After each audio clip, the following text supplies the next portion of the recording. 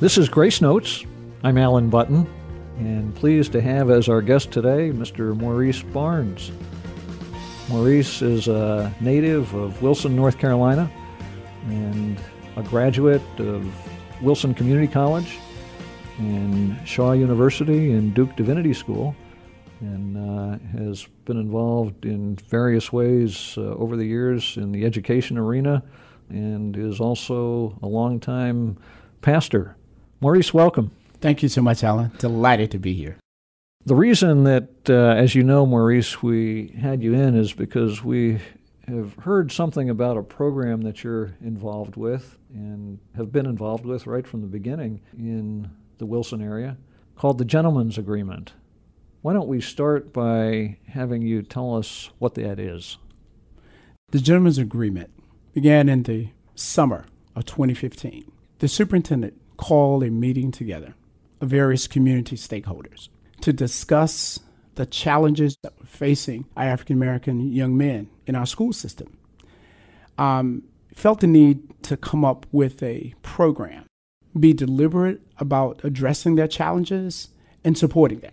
And so, after meeting over the summer, then in the fall of 2015, we launched the Gentleman's Agreement. And the program began with high schoolers at the three comprehensive high schools near in Wilson. And the intent was and remains to offer them support from their ninth grade year to graduation.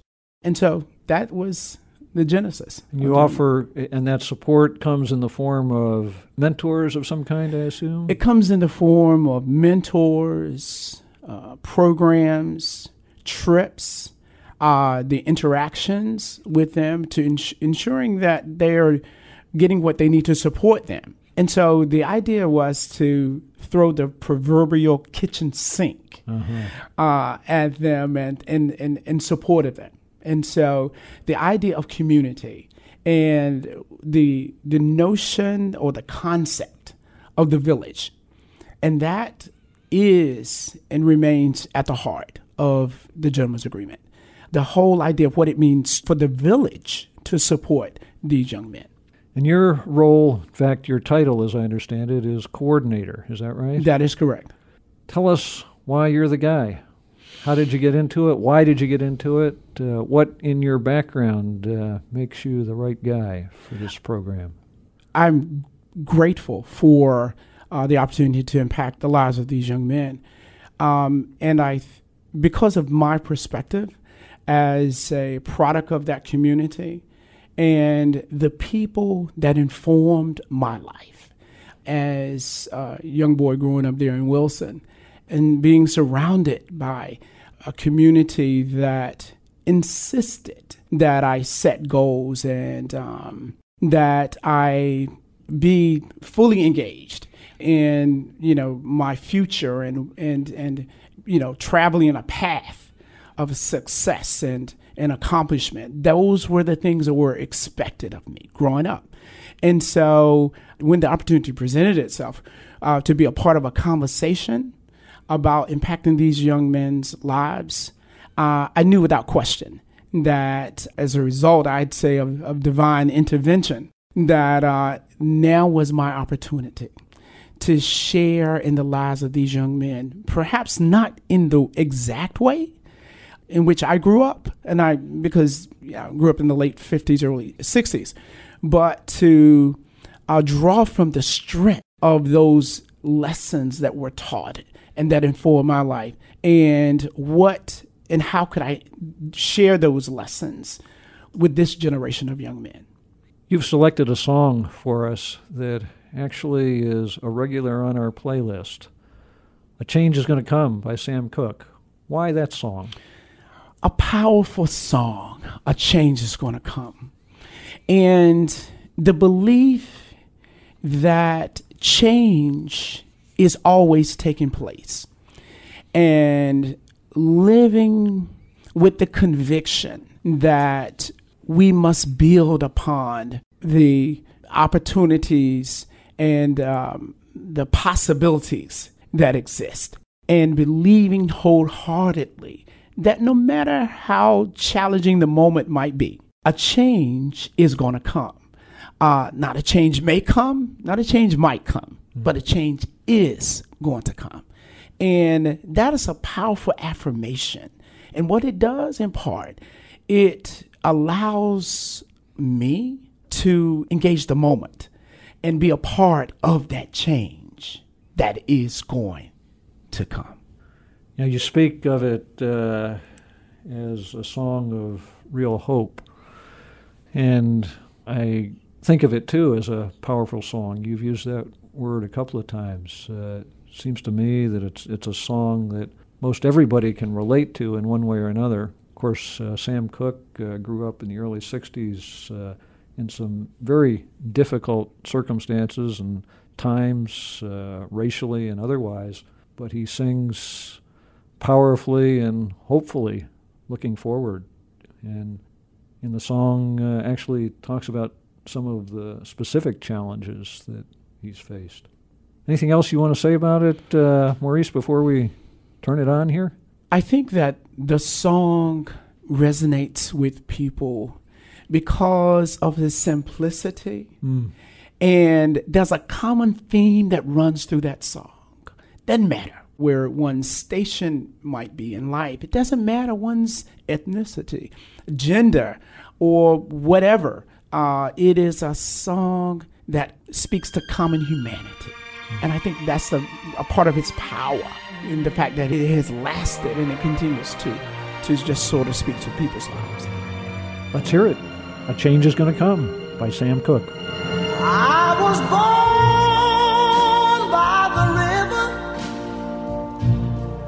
in a little tent.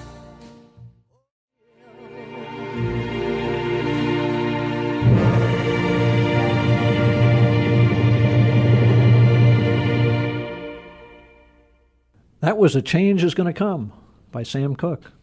A powerful song indeed. Maurice yeah, thank you for that selection. Thank you. You told me before we came into the studio that while you were at Duke, you had occasion to go to Iraq. Tell us about that. By far, um, that experience um, just had a profound effect on me. Uh, it was in late 1990. An organization out of New York called the Fellowship of Reconciliation made an appeal to members of our class to consider being involved in an effort to transport medicine to refugees there in Iraq and Jordan. And um, remind us, if you would, about the timing. Uh, you said late 90? Late 1990. Yeah, we were, as a nation, uh, on the verge of war with Iraq. And um, this organization, Fellowship of Reconciliation, uh, pacifist organization, long engaged in freedom work, if you will.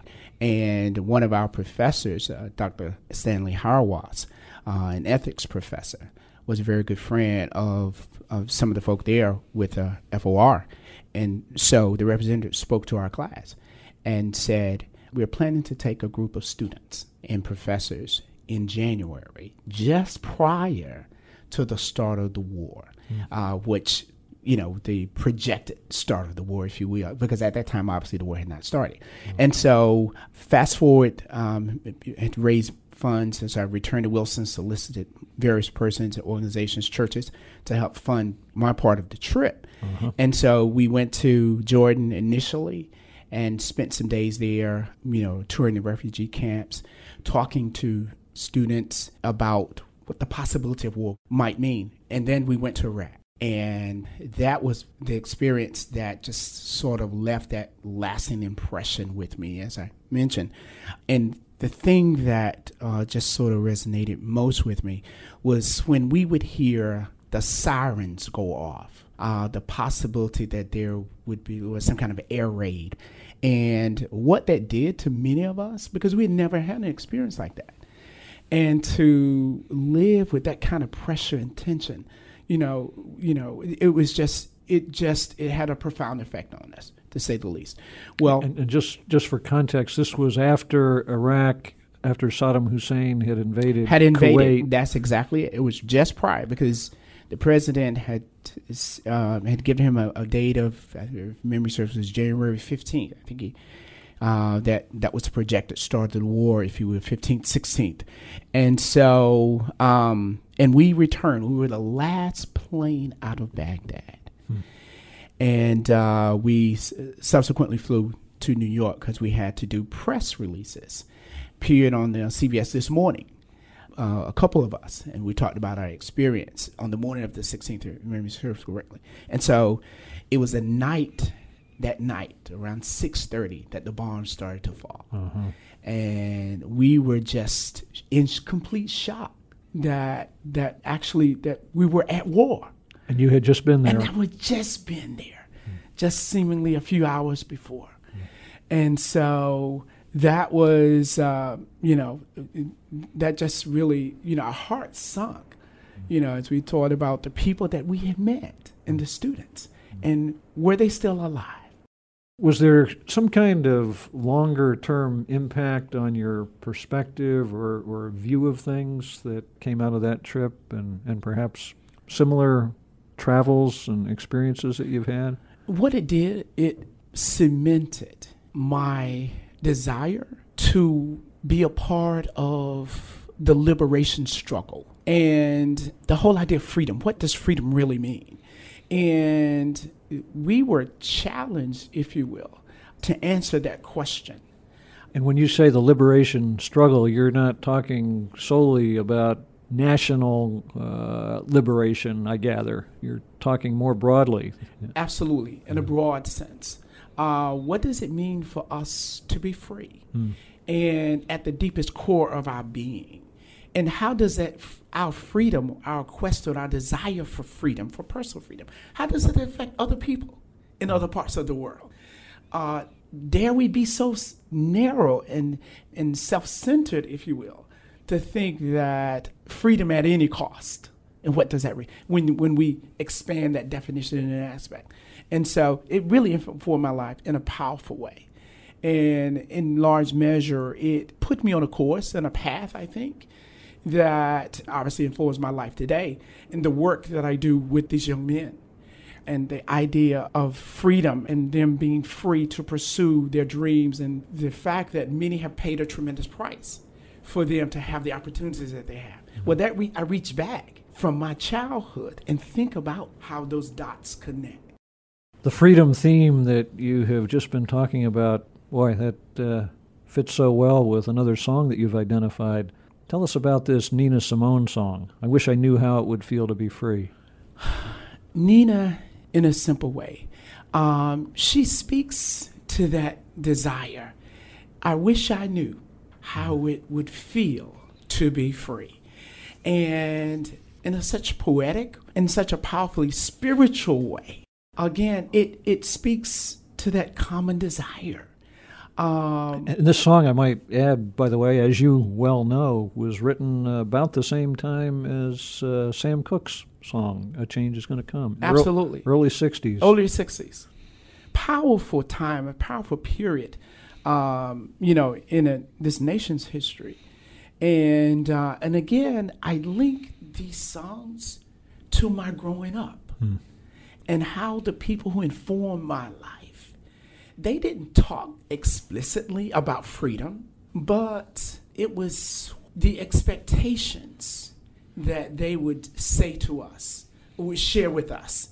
And uh, that, yes, absolutely, you must do something with these opportunities that you're presented with. You cannot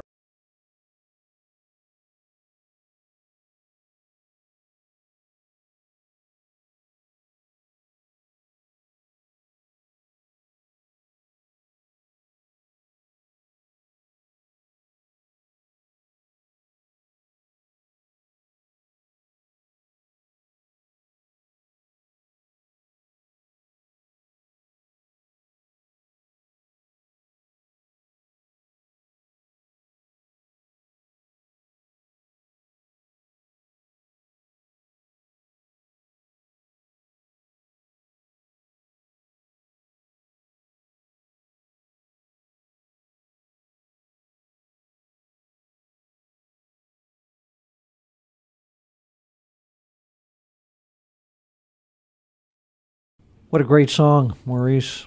I wish I knew how it would feel to be free by Nina Simone. It occurred to me as we were listening to that that great music really often can be understood at several different levels.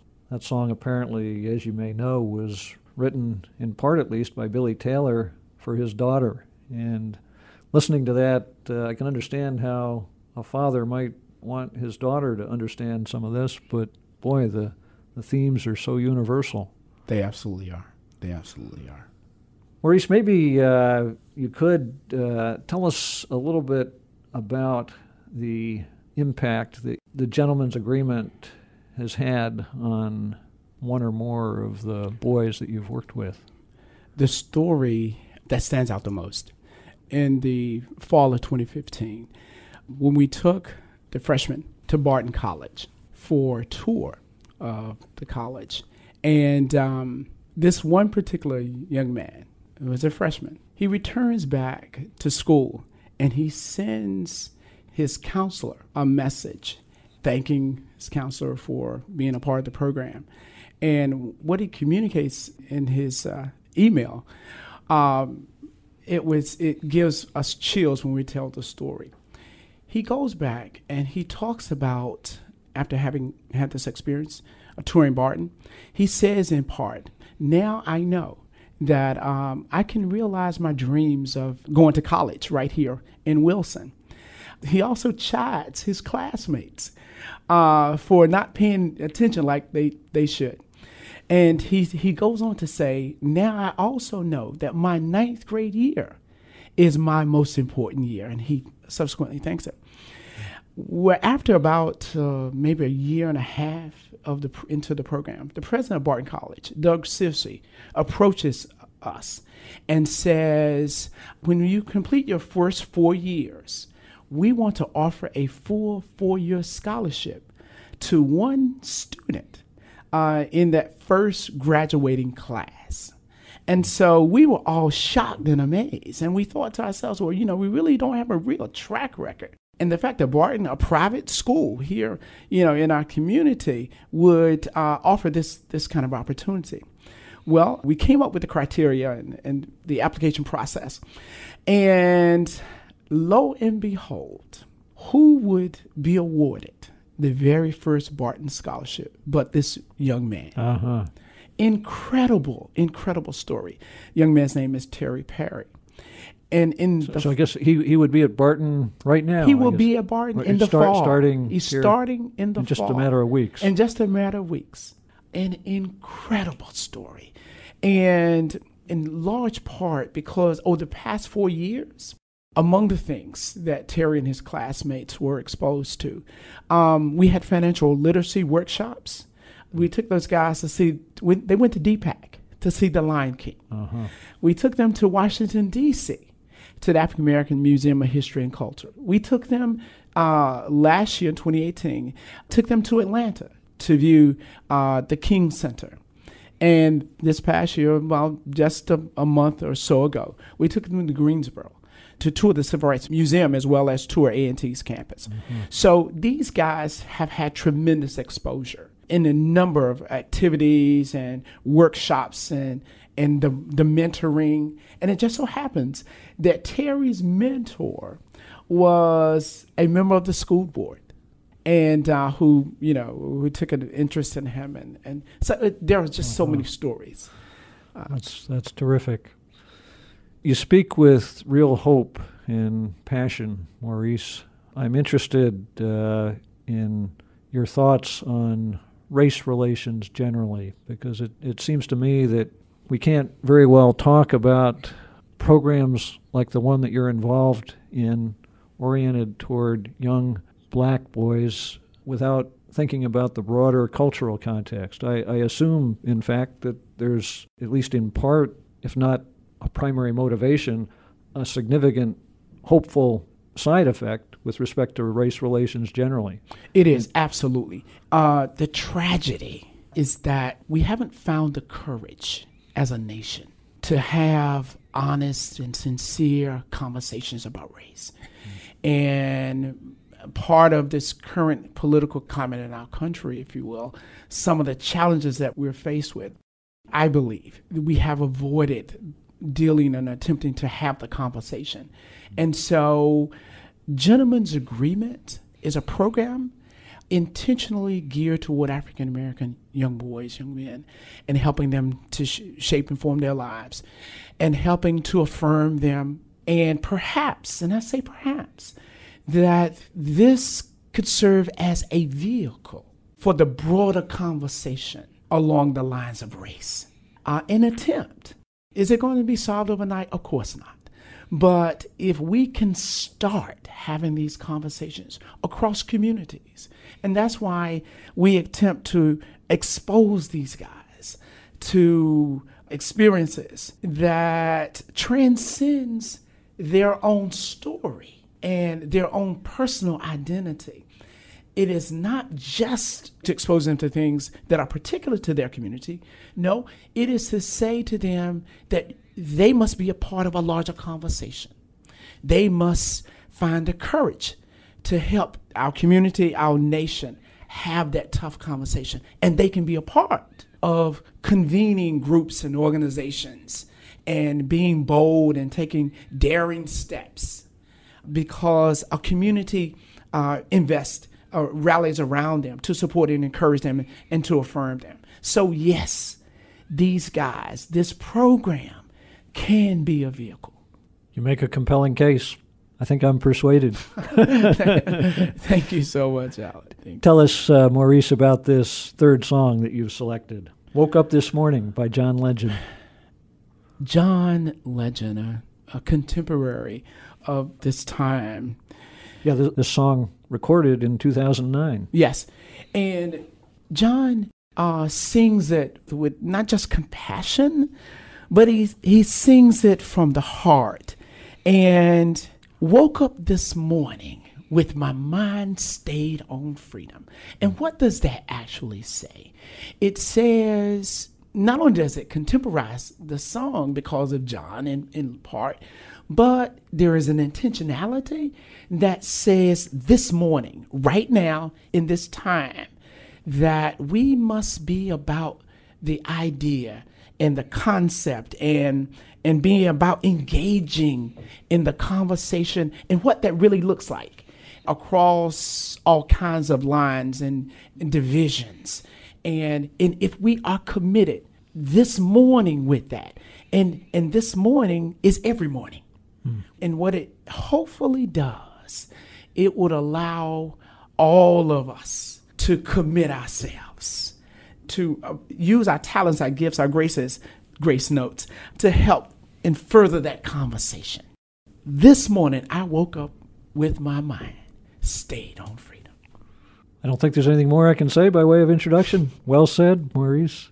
Let me, before we go to the song, before we close things out, uh, say thank you for taking the time to be with us. It's it's been a real privilege to have you here today. Thank you so much, Alan, and it is an honor. And I considered it um, a, a, part of my story, and that it, I would have to say it is a note of grace, mm-hmm. of which I am will be forever grateful. Thank you. Let's hear the song "Woke Up This Morning" by John Legend. I woke up this morning with my mind stayed.